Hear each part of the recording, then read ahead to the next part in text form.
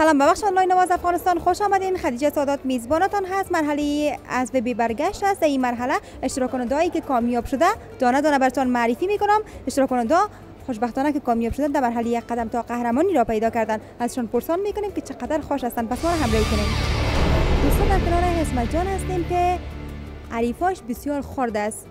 اسمت جان مطمئن هستم که بسیار همین لذت ترسیده. به خاطر که او خورترکا بسیار مقبول می‌خوانه. اینا من تایید می‌کنم. از اسمت می‌پرسیم که چند فیصد بالای خود اعتماد داره که سه تا تفلک خورد شکست میده.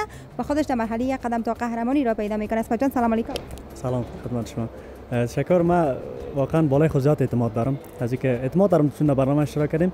و این که شما گفتین از سن سال گپ زنین خوری بزرگی خب استعداد استعداد. هر کس استعداد خود داره و ما کوشش می‌کنم برنده باشم و بالای خود 100 درصد اطمینان دارم. از جورایی که برات انتخاب شده راضی هستی؟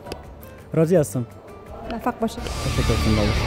احمد جان در تیم نجیب جان خارا بودن در مرحله از برگشت متاسفانه که ناکام شدن. می‌فهمم بسیار جگرخون است اما باز هم پرسان می‌کنم که جگرخون است یا خود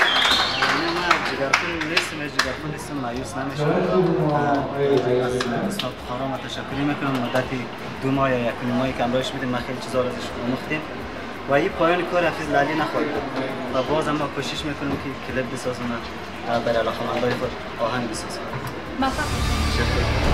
دوستان شما می‌تونید اپلیکیشن آواز افغانستان در موبایل هایتان از طریق اپل استور دانلود کنین و برنامه ما را به صورت بالا تماشا کنین پشت برنامه آواز افغانستان فراموش نکنین تا دیدار بعد خدا نگهدار.